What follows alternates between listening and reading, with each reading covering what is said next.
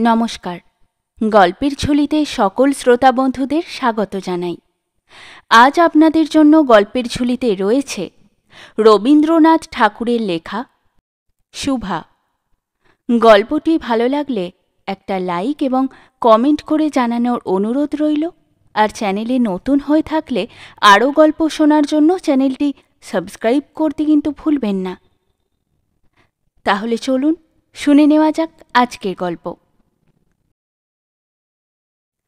মেয়েটির নাম যখন সুভাষিনী রাখা হইয়াছিল, তখন কে জানিত সে বোবা হইবে? তাহার দুটি বড় বোনকে সুকেশিনী, সুহাসিনী নাম দেওয়া হইয়াছিল। তাই মিলের অনুরোধে তাহার বাপ ছোট মেয়েটির নাম সুভাষিনী রাখে। এখন সকলে তাহাকে সংক্ষেপে শুভা বলে। দস্তুর মতো অনুসন্ধান ও অর্থব্যয়ে বড় দুটি মেয়ের বিবাহ হইয়া গেছে। এখন ছোটটি পিতামাতার নীরব হৃদয়ভারের মতো বিরাজ করিতেছে। যে কথা কয় না, সে যে অনুভব করে, ইহা সকলের মনে হয় না। এই জন্য তাহার সাক্ষাতেই সকলে তাহার ভবিষ্যৎ সম্বন্ধে দুশ্চিন্তা প্রকাশ করিত। সে যে বিধাতার অভিশাপ স্বরূপে তাহার পিতৃগৃহে আসিয়া জন্মগ্রহণ করিয়াছে এ কথা সে শিশুকাল হইতে বুঝিয়া লইয়াছিল। তাহার ফল এই হইয়াছিল সাধারণের দৃষ্টিপথ হইতে সে আপনাকে গোপন করিয়া রাখিতে সর্বদাই চেষ্টা করিত। মনে করিত, আমাকে সবাই ভুলিলে বাঁচি, কিন্তু বেদনা কি কেহ কখনো ভোলে? পিতামাতার মনে সে সর্বদাই জাগরুক ছিল। বিশেষত তাহার মা তাহাকে নিজের একটা ত্রুটি স্বরূপ দেখিতেন। কেননা মাতা পুত্র অপেক্ষা কন্যাকে নিজের অংশরূপে দেখেন। কন্যার কোনো অসম্পূর্ণতা দেখিলে সেটা যেন বিশেষ রূপে নিজের লজ্জার কারণ বলিয়া মনে করেন। বরঞ্চ কন্যার পিতা বাণীকণ্ঠ শোভাকে তাহার অন্য মেয়েদের অপেক্ষা যেন একটু বেশি ভালোবাসিতেন। কিন্তু মাতা তাহাকে নিজের গর্ভের কলঙ্ক জ্ঞান করিয়া তাহার প্রতি বড় বিরক্ত ছিলেন। শোভার কথা ছিল না, কিন্তু তাহার সুদীর্ঘ পল্লব বিশিষ্ট বড় বড় দুটি কালো চোখ ছিল এবং তাহার ওষ্ঠাধর ভাবের আভাস মাত্রে কচি কিশলয়ের মতো কাঁপিয়া উঠিত। কথায় আমরা যে ভাব প্রকাশ করি, সেটা আমাদিগকে অনেকটা নিজের চেষ্টায় গড়িয়া লইতে হয়, কতকটা তর্জমা করার মতো। সকল সময় ঠিক হয় না ক্ষমতা অভাবে অনেক সময় ভুলও হয়। কিন্তু কালো চোখে কিছু তর্জমা করিতে হয় না। মন আপনি তাহার উপরে ছায়া ফেলে। ভাব আপনি তাহার উপরে কখনো প্রসারিত কখনো মুদিত হয়। কখনো উজ্জ্বলভাবে জ্বলিয়া ওঠে। কখনো ম্লানভাবে নিবিয়া আসে। কখনো অস্তমান চন্দ্রের মতো অনিমেষভাবে চাহিয়া থাকে। কখনো দ্রুত চঞ্চল বিদ্যুতের মতো দিকবিদিকে ঠিকরিয়া ওঠে মুখের ভাব বই আজন্মকাল যাহার অন্য ভাষা নাই, তাহার চোখের ভাষা অসীম, উদার এবং অতল স্পর্শ গভীর, অনেকটা স্বচ্ছ আকাশের মতো। উদয়াস্ত এবং ছায়ালোকের নিস্তব্ধ রঙ্গভূমি। এই বাক্যহীন মনুষ্যের মধ্যে বৃহৎ প্রকৃতির মতো একটা বিজন মহত্ব আছে। এই জন্য সাধারণ বালক বালিকারা তাহাকে এক প্রকার ভয় করিত, তাহার সহিত খেলা করিত না। সে নির্জন দ্বীপ্রহরের মতো শব্দহীন এবং সঙ্গীহীন। গ্রামের নাম চণ্ডীপুর, নদীটি বাংলাদেশের একটি ছোট নদী। গৃহস্থ ঘরের মেয়েটির মতো বহু দূর পর্যন্ত তাহার প্রসার নহে। নিরলসা তন্নি নদীটি আপন কুল রক্ষা করিয়া কাজ করিয়া যায়। দুই ধারের গ্রামের সকলেরই সঙ্গে তাহার যেন একটা না একটা সম্পর্ক আছে। দুই ধারে লোকালয় এবং তরু ছায়াঘন উচ্চতট। নিম্নতল দিয়া গ্রাম্যলক্ষ্মী স্রোতস্বিনী আত্মবিস্তৃত দ্রুত পদক্ষেপে প্রফুল্ল হৃদয়ে আপনার অসংখ্য কল্যাণ কার্যে চলিয়াছে। বাণীকণ্ঠের ঘর নদীর একেবারে উপরেই, তাহার বাঁখারির বেড়া আটচালা, গোয়ালঘর, ঢেঁকিশালা, খড়ের স্তূপ, তেঁতুলতলা, আম, কাঁঠাল এবং কলার বাগান নৌকাবাহী মাত্রেরই দৃষ্টি আকর্ষণ করে। এই গার্হস্থ সচ্ছলতার মধ্যে বোবা মেয়েটি কাহারও নজরে পড়ে কিনা জানি না। কিন্তু কাজকর্মে যখনই অবসর পায়, তখনই সেই নদী তীরে আসিয়া বসে। প্রকৃতি যেন তাহার ভাষার অভাব পূরণ করিয়া দেয়। যেন তাহার হইয়া কথা কয়। নদীর কলধ্বনি, লোকের কোলাহল, মাঝির গান, পাখির ডাক, তরুর মর্মর, সমস্ত মিশিয়া চারিদিকের চলাফেরা আন্দোলন কম্পনের সহিত এক হইয়া সমুদ্রের তরঙ্গ রাশির ন্যায় বালিকার চির নিস্তব্ধ হৃদয় উপকূলের নিকটে আসিয়া ভাঙিয়া ভাঙিয়া পড়ে। প্রকৃতির এই বিবিধ শব্দ এবং বিচিত্র গতি ইহাও বোবার ভাষা। বড় বড় চক্ষু পল্লব বিশিষ্ট সুভার যে ভাষা, তাহারই একটা বিশ্বব্যাপী বিস্তার। ঝিল্লির অপূর্ণ তৃণভূমি হইতে শব্দাতীত নক্ষত্রলোক পর্যন্ত কেবল ইঙ্গিত, ভঙ্গি, সংগীত, ক্রন্দন এবং দীর্ঘ নিঃশ্বাস।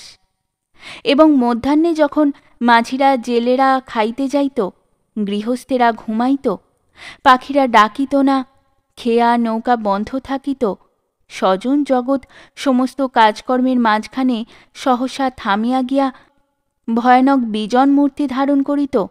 তখন রুদ্র মহাকাশের তলে কেবল একটি বোবা প্রকৃতি এবং একটি বোবা মেয়ে মুখোমুখি চুপ করিয়া বসিয়া থাকিত। একজন সুবিস্তীর্ণ রৌদ্রে আর একজন ক্ষুদ্র তরুর ছায়ায়। শুভার যে গুটিকতক অন্তরঙ্গ বন্ধুর দল ছিল না, তাহা নহে। গোয়ালের দুটি গাভী, তাহাদের নাম সর্বস্বী ও পাঙ্গুলি। সে নাম বালিকার মুখে তাহারা কখনো শুনে নাই, কিন্তু তাহার পদশব্দ তাহারা চিনিত। তাহার কথাহীন একটা করুণ সুর ছিল। তাহার মর্ম তাহারা ভাষার অপেক্ষা সহজে বুঝিত। শোভা কখন তাহাদের আদর করিতেছে, কখন ভৎসনা করিতেছে, কখন মিনতি করিতেছে তাহা তাহারা মানুষের অপেক্ষা ভালো বুঝিতে পারিত। শোভা গোয়ালে ঢুকিয়া দুই বাহুর দ্বারা সর্বশীর গ্রীবা বেষ্টন করিয়া তাহার কানের কাছে আপনার গণ্ডদেশ ঘর্ষণ করিত এবং পাঙ্গুলি স্নিগ্ধ দৃষ্টিতে তাহার প্রতি নিরীক্ষণ করিয়া তাহার গা চাটিত। বালিকা দিনের মধ্যে নিয়মিত তিনবার করিয়া গোয়াল ঘরে যাইত। তাহা ছাড়া অনিয়মিত আগমনও ছিল।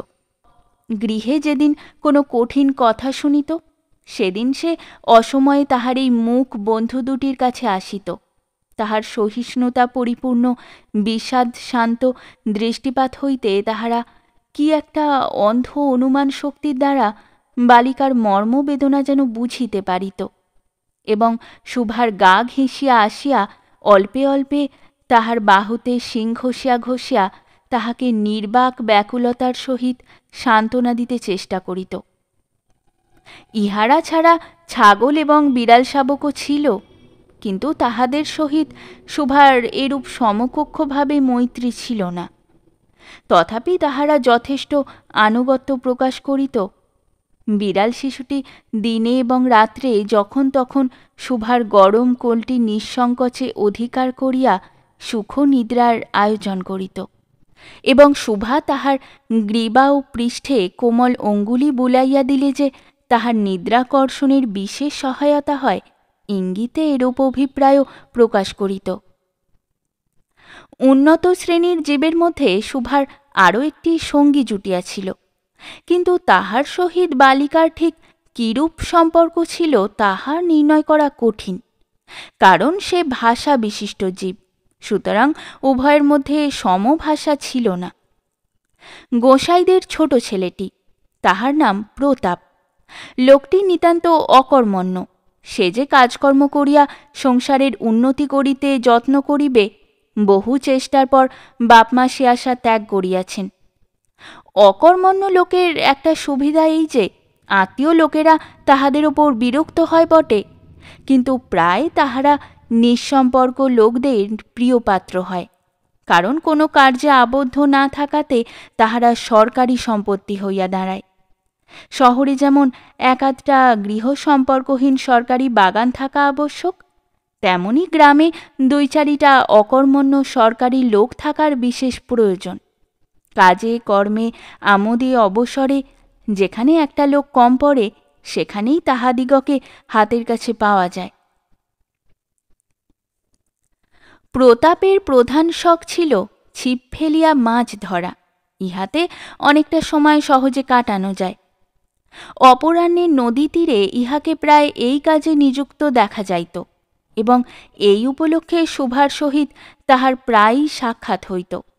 যে কোনো কাজেই নিযুক্ত থাক, একটা সঙ্গী পাইলে প্রতাপ থাকে ভালো। মাছ ধরার সময় বাক্যহীন সঙ্গী সর্বাপেক্ষা শ্রেষ্ঠ। এই জন্য প্রতাপ শুভার মর্যাদা বুঝিত।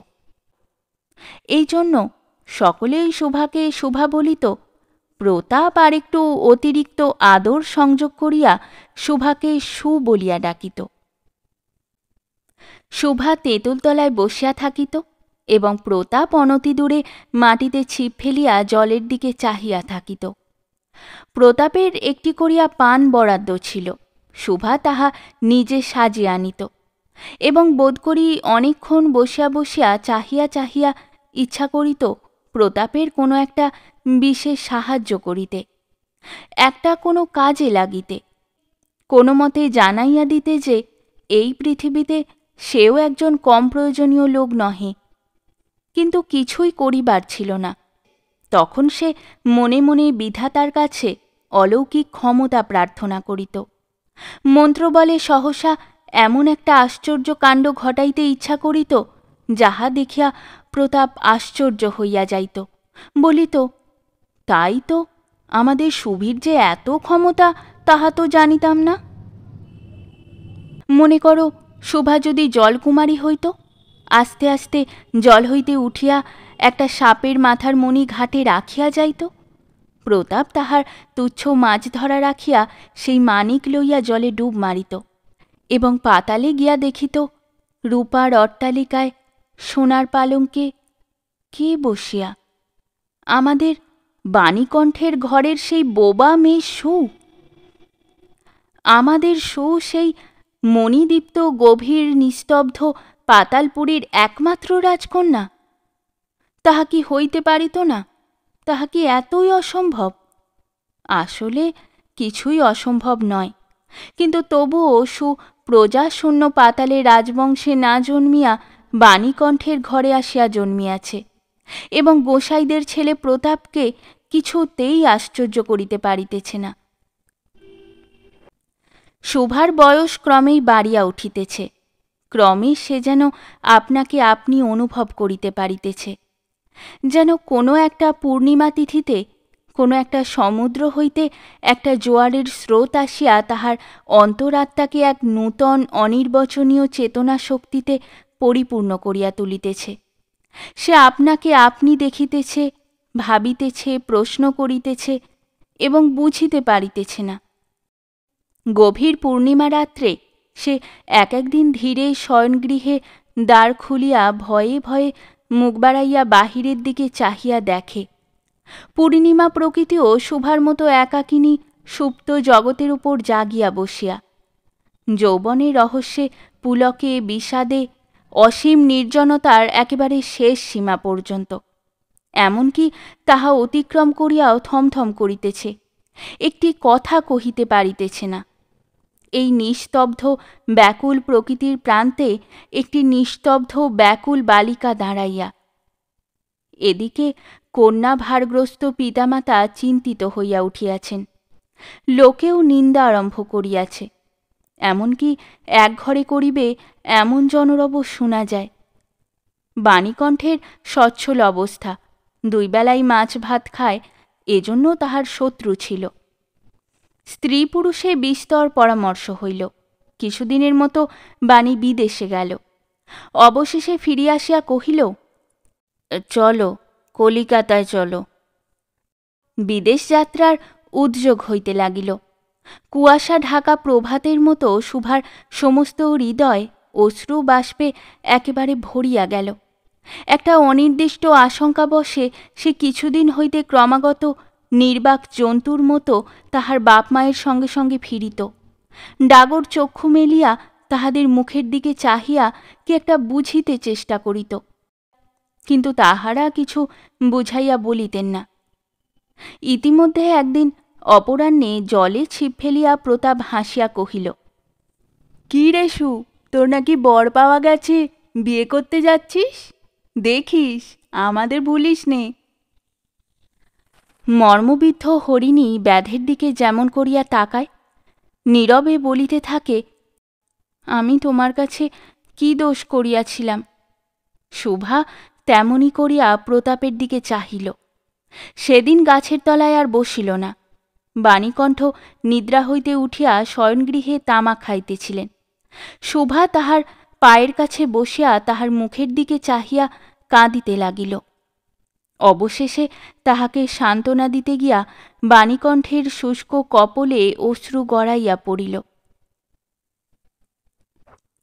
কাল কলিকাতায় যাইবার দিন স্থির হইয়াছে। শোভা গোয়ালঘরে তাহার বাল্য সখীদের কাছে বিদায় লইতে গেল। তাহাদিগকে সহস্তে খাওয়াইল, গলা ধরিয়া একবার দুই চোখে যত পারে কথা ভরিয়া তাহাদের মুখের দিকে চাহিল। দুই নেত্র পল্লব হইতে টপ টপ করিয়া অশ্রুজল পড়িতে লাগিল। সেদিন শুক্লা দ্বাদশীর রাত্রি। শুভা শয়নগৃহ হইতে বাহির হইয়া তাহার সেই চির পরিচিত নদী তটে লুটাইয়া পড়িল, যেন ধরণীকে এই প্রকাণ্ড মুখ মানব মাতাকে দুই বাহুতে ধরিয়া বলিতে চাহে। তুমি আমাকে যাইতে দিও না, মা। আমার মতো দুটি বাহু বাড়াইয়া তুমিও আমাকে ধরিয়া রাখো। কলিকাতার এক বাসায় শুভার মা একদিন শুভাকে খুব করিয়া সাজাইয়া দিলেন। আটিয়া চুল বাঁধিয়া খোঁপায় জরির ফিতা দিয়া, অলঙ্কারে আচ্ছন্ন করিয়া তাহার স্বাভাবিক শ্রী যথাসাধ্য বিলুপ্ত করিয়া দিলেন। শোভার দুই চক্ষু দিয়া অশ্রু পড়িতেছে। পাছে চোখ ফুলিয়া খারাপ দেখিতে হয়। এজন্য তাহার মাতা তাহাকে বিস্তর ভৎসনা করিলেন। কিন্তু অশ্রুজল ভর্ৎসনা মানিল না। বন্ধুর সঙ্গে বর স্বয়ং কোণে দেখিতে আসিলেন। কন্যার মা বাপ চিন্তিত, শঙ্কিত শশব ব্যস্ত হইয়া উঠিলেন, যেন দেবতা স্বয়ং নিজের বলির পশু বাছিয়া লইতে আসিয়াছেন। মা নেপথ্য হইতে বিস্তর তর্জন গর্জন শাসন করিয়া বালিকার অশ্রুস্রোত দ্বিগুণ বাড়াইয়া পরীক্ষকের সম্মুখে পাঠাইলেন। পরীক্ষক অনেকক্ষণ নিরীক্ষণ করিয়া বলিলেন, মন্দ নহে। বিশেষত বালিকার ক্রন্দন দেখিয়া বুঝিলেন ইহার হৃদয় আছে। এবং হিসাব করিয়া দেখিলেন, যে হৃদয় আজ বাপ মায়ের বিচ্ছেদ সম্ভাবনায় ব্যথিত হইয়া উঠিয়াছে, সেই হৃদয় আজ বাদিকাল আমারই ব্যবহারে লাগিতে পারিবে। শক্তির মুক্তার ন্যায় বালিকার অশ্রুজল কেবল বালিকার মূল্য বাড়াইয়া দিল, তাহার হইয়া আর কোনো কথা বলিল না। পঞ্জিকা মিলাইয়া খুব একটা শুভ লগ্নে বিবাহ হইয়া গেল। বোবা মেয়েকে পরের হস্তে সমর্পণ করিয়া বাপমা দেশে চলিয়া গেল। তাহাদের জাতীয় পরকাল রক্ষা হইল। বর পশ্চিমে কাজ করে। বিবাহের অনতি বিলম্বে স্ত্রীকে পশ্চিমে লইয়া গেল। সপ্তাহ খানেকের মধ্যে সকলেই বুঝিল, নববধূ বোবা। তা কেহ বুঝিল না, সেটা তাহার দোষ নহে। সে কাহাকেও প্রতারণা করে নাই। তাহার দুটি চক্ষু সকল কথাই বলিয়াছিল, কিন্তু কেহ তাহা বুঝিতে পারে নাই। সে চারিদিকে চায়, ভাষা পায় না। যাহারা বোবার ভাষা বুঝিত, সেই আজন্ম পরিচিত মুখগুলি দেখিতে পায় না। বালিকার চির নীরব হৃদয়ের মধ্যে একটা অসীম অব্যক্ত ক্রন্দন বাজিতে লাগিল। অন্তর্যামী ছাড়া আর কেহ তাহা শুনিতে পাইল না। এবার তাহার স্বামী চক্ষু এবং কর্ণেন্দ্রিয়ের দ্বারা পরীক্ষা করিয়া এক ভাষা বিশিষ্ট কন্যা বিবাহ করিয়া আনিল। শেষ হল আমাদের আজকের গল্প। গল্প পাঠে এবং বিভিন্ন চরিত্রে আমি তৃষিতা গল্পটি ভালো লাগলে লাইক এবং শেয়ার করে দেবেন। আর চ্যানেলে নতুন হয়ে থাকলে আরও গল্প শোনার জন্য চ্যানেলটি সাবস্ক্রাইব করতে কিন্তু ভুলবেন না। খুব তাড়াতাড়ি নতুন একটি গল্প নিয়ে ফিরে আসব। সকলে ভালো থাকুন, শুনতে থাকুন, গল্পের ঝুলি।